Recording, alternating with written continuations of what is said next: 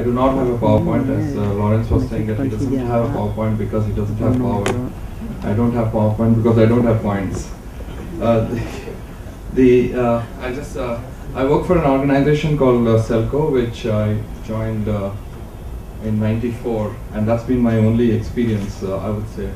Uh, working mostly uh, uh, as an organization, we mo- work mostly in the field of uh, decentralized solar for providing solar energy to underserved households, mostly in rural uh, Karnataka. And basically to destroy the myth that everybody says that solar is expensive um, and can't be maintained by the maintained by poor people.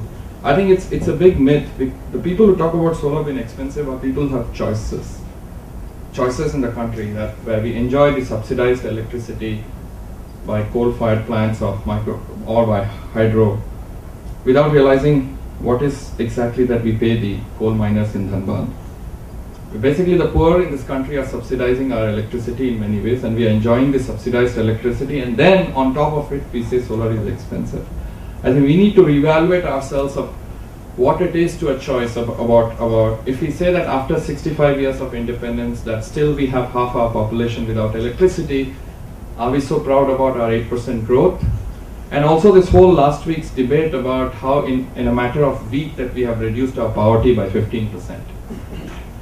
Uh, and I don't know, the, you've seen uh, Lawrence, the last in the planning commission, in the last one week we have reduced our poverty by, by 15% by by debating whether 33 rupees a day is poor or 34 rupees a day is poor. And, and, and that's, this is, if we are involved in this debate and we have half our population that without electricity is something that is so critical to all of us that we have to realize that energy access to the poor is as important as anything else, which basically defines the social fabric of our society in many ways. If you map the if you map the violence in the world, and if you map energy poverty, it actually maps very very closely. You're not giving equal opportunities to people to study, to generate income, to have other livelihoods. You are going to increase frustrations in this country.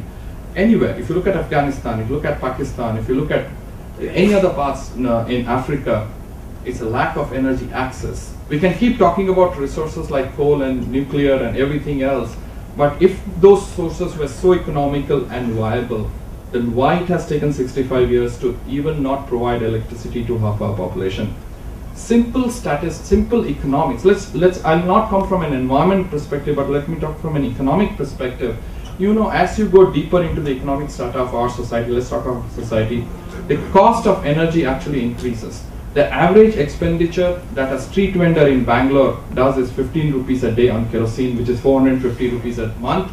You and me don't spend 400 rupees, 450 rupees a month. Forget a kerosene light. She spends 450 rupees a month on kerosene lighting. So if you had four lights in your house, it's equivalent to 1600 rupees.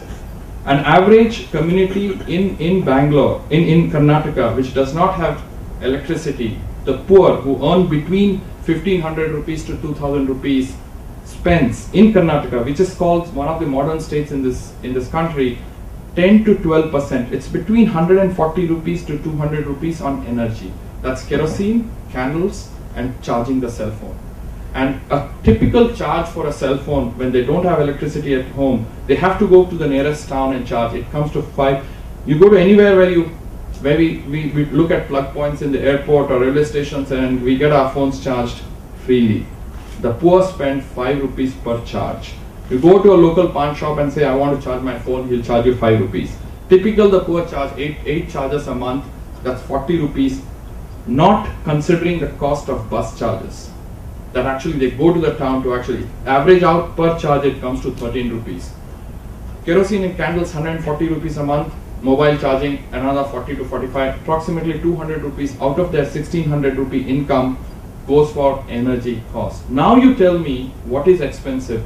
Having electricity through coal which they don't have, or nuclear, or providing with solar which would cost them equivalent. That is, if they pay 200 rupees to a bank over a period of five years, they get an asset if you look at 200 rupees today, it's approximately 2,500 rupees a year, which is 12,500 rupees in five years. For kerosene, candles, and mobile charging is 12,500. rupees. A solar light with two lights and a mobile charger costs around 7,000 to 8,000 rupees at an interest. I'll, I'll, talk about the most expensive system. At an interest at 14% what the Grameen banks charge comes to around 9,000 rupees. Now tell me, is solar expensive or not having solar is expensive? I think we, so-called educated class, have to bear the perspective about whom are we deciding for. The issue in our country mostly has been that we decide for people who don't have voices. We decide for people who we don't consider them as partners. How much of us our time when we decide, oh, this is the technology, how much of our time that we have actually spent time with people as partners? And, and say that, okay, this is the need. Today what is happening is everything that is urbanized in terms of technology is being reformatted so that the rural people can use it. How many of us actually spend time? How many of us engineers, technology guys, spend social engineers, spend time in the rural areas and say that this is what the need is and can I now design a solution according to what the need in the rural area is, not taking a vice versa saying that I have designed this technology, I'll now go and find out what the, solu- what the problem is. So we all decide solutions and then we decide the problem. I think we need to spend time in the rural areas how many, of what it is. Do we actually know what is the color of a light that a tomato vendor wants? How many of us actually know why a tomato vendor will never buy a yellow light, always buy a white light? Why does a potato vendor will never buy a yellow light but always a, uh, will never buy a white light? These are issues. Why does a paddy farmer actually only wants four hours of electricity average in all the four, four rooms? Why does a peanut farmer can only pay twice a year? His cash flows are twice a year. Sugar cane farmer twice a year. These are needs. That's the whole beauty of this country is that the, the, the rural areas will shift the way the business modeling in the world will happen because you look at 550 million people without electricity, 700 million people using un, un, dirty fuels to actually do cooked stores. Different uh, uh, business models will arise from this 650 million who will then teach the world that how can need how can the world sustainably grow balancing economic financial and environmental sustainability. I think we, we need to relook at what technology is. We relook at business models relook at financial models in the rural areas spend more time and looking at what is actually needed in the rural areas and then tailor make those solutions and that's why India is such a paradox country of between an overdeveloped and an underdeveloped that we have a chance to prove to the world that how we are able to remove poverty using sustainable energy, showing to the world this is actual what growth is. Rather than hiding behind the poor, polluting as much as we can as rich people who are, is earning more than 30,000 rupees is considered rich and show to the world this is sustainable development. And solar or pico hydro or decentralized power makes so much of economic sense to this country. If you look at average transmission and distribution line problem uh, of losses in, in the state of Karnataka alone, it's between 20 to 22 percent officially.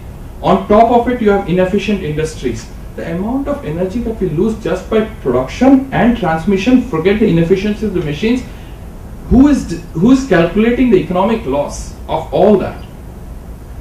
decentralized energy makes so much of sense. On a positive note, we also have to realize that the state of Karnataka, just, uh, because we are in Karnataka, has more than 400,000 households, 4 lakh poor households run on solar sustainably where they have all paid for it without subsidies.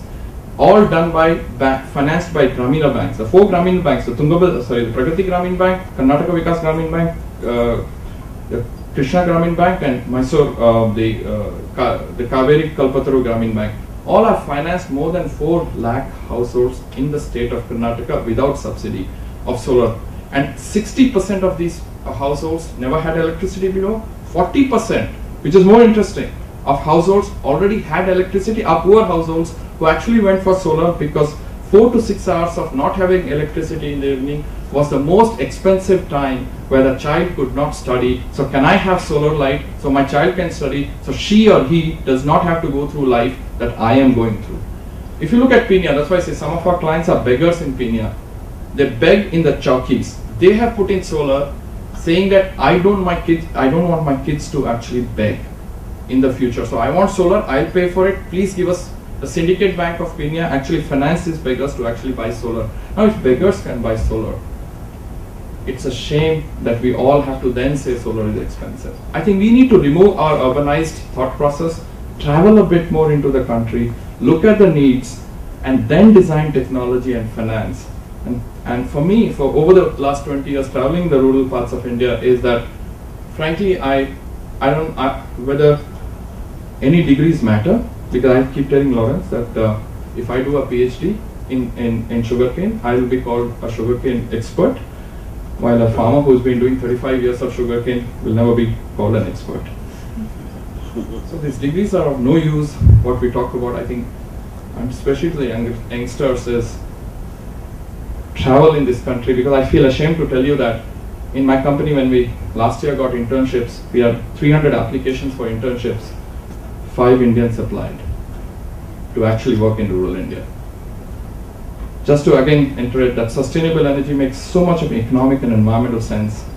Let's actually do it for the sake of this country in a positive manner rather than just keeping sitting in our cells and saying it's expensive. Go out and travel, you'll find it's actually not expensive, it makes sense. Thank you very much.